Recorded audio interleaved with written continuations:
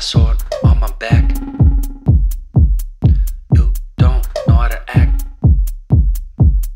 Maybe you should relax.